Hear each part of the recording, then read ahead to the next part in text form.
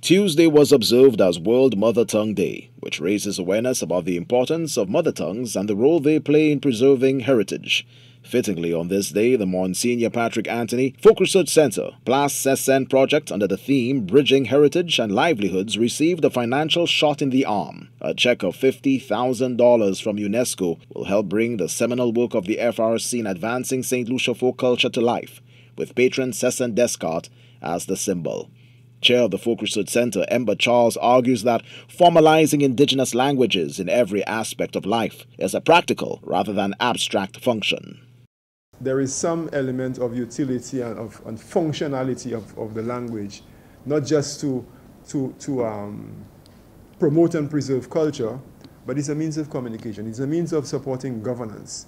Lots of people can't participate fully into development because politicians and policymakers don't speak their language. And I think it's important that we celebrate language on a day like today to keep it on the front burner, that people do not just relegate it to just giving jokes and um, you know informal conversation, but it has a place in our development and will continue as an organization to advocate for the official recognition of Creole as a language in St. Lucia.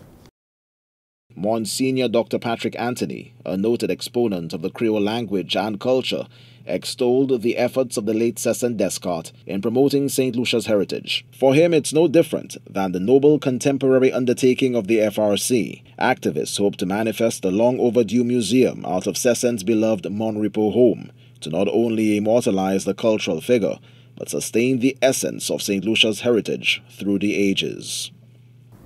And if we have a, a museum where we can really big up not just Sesenne, but all our cultural heroes. In fact, one of the dreams I've, had, I've been saying to, if I say long time that, we don't have any heroes park, cultural heroes park in St. Lucia. At a place like Place Sesenne, we can start a cultural heroes park.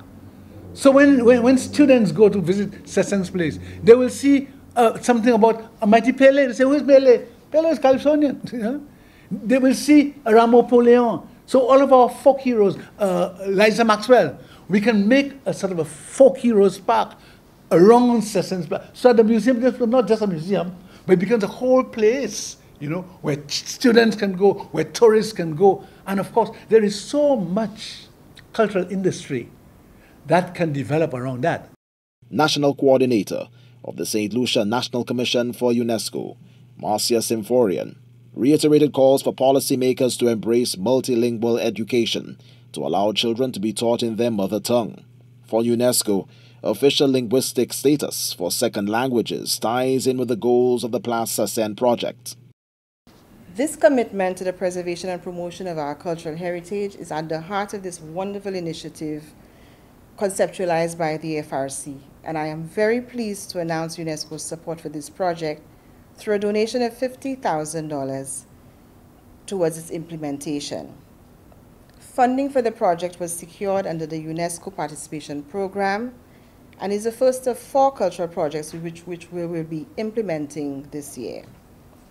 This project, Bridging Heritage and Livelihoods, the Place Sesenne proposal, museum proposal, seeks to provide the resources necessary to commence the establishment of La Place Sesenne in the community of Mon as a model for sustainable and resilient community-based small museum sorry, in the Caribbean. UNESCO says it's pleased to make the financial contribution as well as provide technical assistance and expertise in collaboration with the FRC on the special initiative to commemorate St. Lucia's Queen of Folk Culture. The presentation and observance of Mother Tongue Day also dovetails with the start of the UNESCO's poetry competition.